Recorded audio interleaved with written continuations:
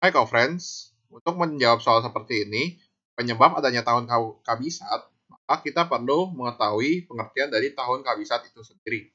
Tahun kabisat adalah tahun yang terjadi setiap 4 tahun sekali, di mana terjadi penambahan satu hari pada bulan Februari. Nah, pada umumnya jumlah hari pada tahun biasa itu adalah 365 hari. Namun, menurut perhitungan astronom, yaitu bernama Sociogens, ini mengitari matahari selama 365,25 hari dalam satu tahun. Karena itu, dilakukan penambahan satu hari di bulan Februari setiap 4 tahun sekali, sehingga di setiap tahun yang memiliki kelipatan 4 atau pada tahun kabisat, maka akan ada tanggal 29 Februari. Karena pada tahun biasa itu hanya sampai tanggal 28 untuk bulan Februari.